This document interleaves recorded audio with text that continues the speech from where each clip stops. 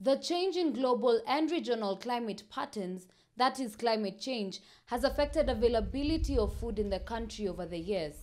This has posed great threats in terms of food security, which has become a growing concern over the inconsistent change in climate. There have been renewed measures by stakeholders to help farmers mitigate the overwhelming challenges of climate change.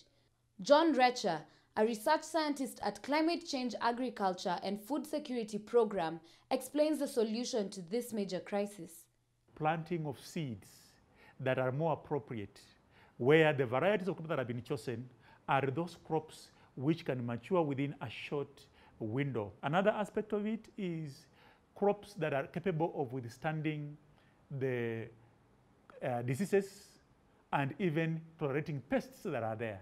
Why? Because climate change has led to uh, emerging pests and diseases which are thriving and flourishing in environments where they have not been there before.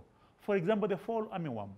Climate smart agriculture is an approach to agriculture that helps transform agricultural systems to ensure food security in changing climate.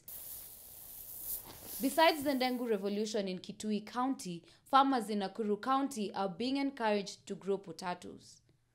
Potato, being a, a short season crop, requiring uh, short rains to mature, we think it's a good crop which can be used to mitigate the effects of climate change in the county.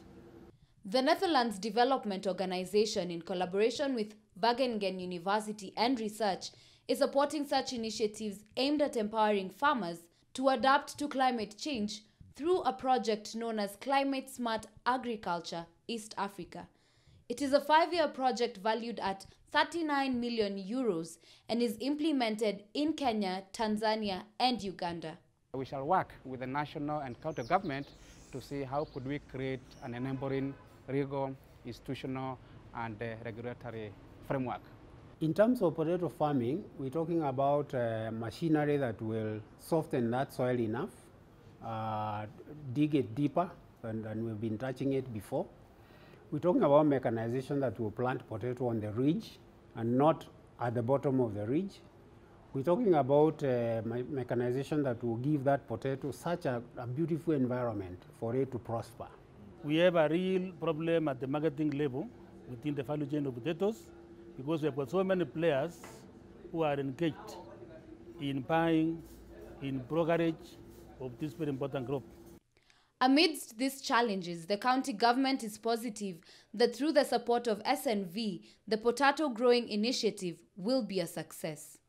The program will work on the four value chains, uh, that is the pulses, the oilseed, Irish potato, and the cereals.